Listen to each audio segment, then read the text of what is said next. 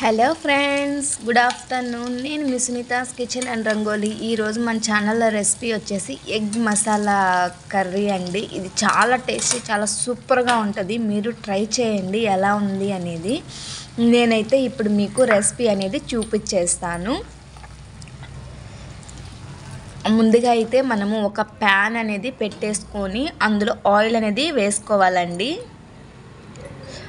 Oil వేసుకున్న తర్వాత బిర్యానీ ఆకు అనేది చుంచేసి వేసుకోవాలి. అలాగే చెక్క అలాగే అనాస పువ్వు వేసుకొని కరివేపాకు వేసుకొని అందులో ఉల్లిపాయలు కట్ చేసి పెట్టుకున్న ఉల్లిపాయలు వేసేసుకొని మనము ఫ్రై అనేది చేసుకోవాలి. ఇవి ఉల్లిపాయలు అనేది మనకి బాగా వేగిపోవాలండి. ఇప్పుడైతే మనము జీడిపప్పు తీసుకున్నాను. అలాగే రెండు టమోటాలు తీసుకున్నానండి.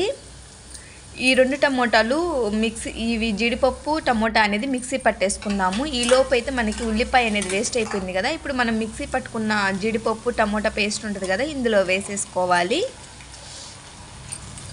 ఇందులో వేసేసుకొని మనము కొంచెం వాటర్ తులిపేసి వేసుకోవాలండి. వేసుకున్న తర్వాత మనం దీన్ని కలుపుకోవాలి.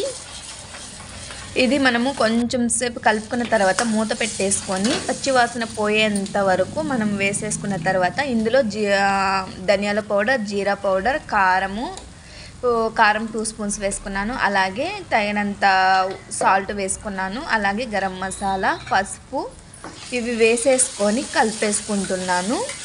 ఇందులో మీకు నచ్చితే అల్లం వెల్లుల్లి పేస్ట్ కూడా వేసుకోవచ్చు.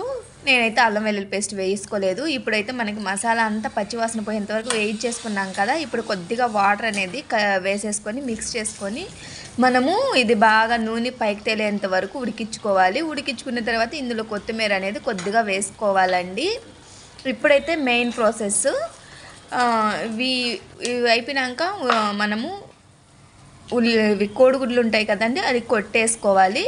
ఇందులో త్రీ ఎగ్స్ అనేది నేను వేసుకున్నాను. దీని మీద కొత్తిమీర వేసుకున్నాను. అలాగే కొంచెం కారము కొంచెం సాల్ట్ కొంచెము ధనియాల పౌడరు ఈ ఈ ఎగ్స్ పైన వేసేసుకుంటున్నాను. ఎగ్స్ పైన వేసేసుకొని మనము ది మూత పెట్టేసుకోవాలండి.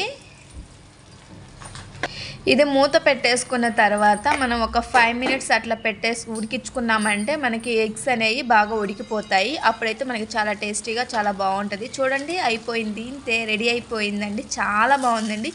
ఇందులో జీడిపప్పు కూడా మీరు పైన వేసుకోవచ్చు. చాలా టేస్టీగా చాలా ఎమ్మీగా ఉంది. ఇలాంటి రెసిపీస్ కోసం మన ఛానల్ని సబ్స్క్రైబ్ చేయండి. మళ్ళీ మంచి వీడియోస్తో మీ ముందుంటాను. బాయ్